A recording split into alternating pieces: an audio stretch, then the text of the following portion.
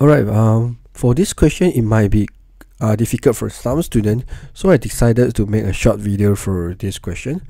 Alright, because this question actually gives you two composite function. Because normally what you see in SPM exam, I mean the SPM MF exam, normally you have one composite function and the other one is just single function like gx or fx or f inverse or g inverse. But then you seldom see the question actually it will give you two composite function and one of it actually like like join together with the inverse function. So basically how to get it? So you must have the idea how to get the uh, g square x. So in order to get the g square x, since I have both of these, so I will try to figure out if what if I combine these two functions, what will happen? So if I can substitute this one, which is the uh, which is the f inverse g into the gfx, you you can see what I will get. So I will have gfx if I substitute the other one, maybe I use the yellow color for it for this one. So I will have f inverse g x. Okay, so if I substitute like this, so actually you realize that f and f inverse, this both of these you can simplify.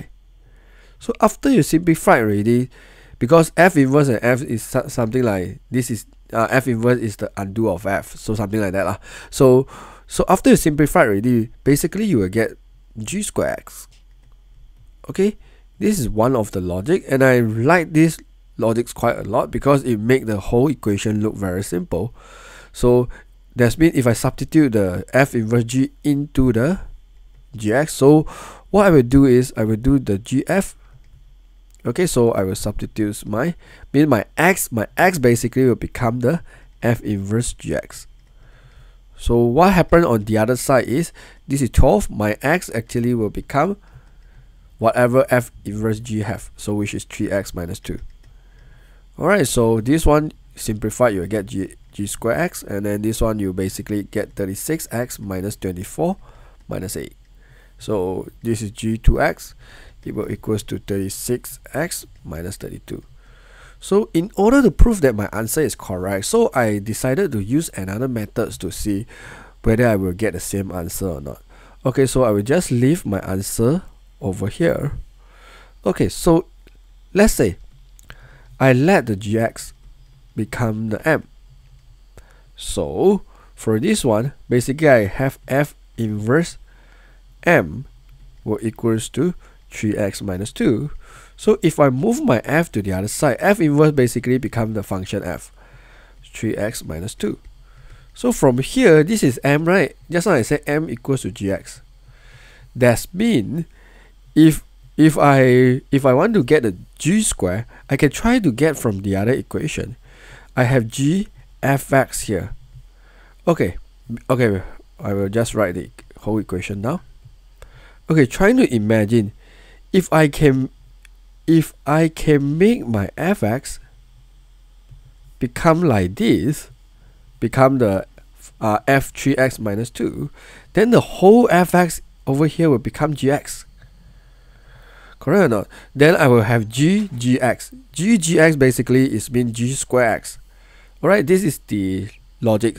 So in order to get the in order to get a uh, g gx, so what I will do is I will I will substitute my x become 3x minus 2. So that's mean whatever x here will multiply with 3x minus 2. Alright, and from here you can actually see that this, the whole thing here is equal to gx because we already like do the assumption on the top here. So basically this one, you, uh, what you will get over here is g, the f 3x minus 2 equals to gx. Then here I will just solve it and then I will get like 36x minus 24 minus 8. So ggx basically is g square x equals to 36x minus 32. And both also actually will get the same answer. Alright, this is how to solve this kind of questions. So yeah, this video is quite short because I just want to make sure I actually cover most of the patterns of the uh, function in MF because a lot of students just like so struggling in this topic. So I, I hope you find this video helpful. If you have any comment or question yeah you can find me on my youtube or on my facebook anyways thanks for watching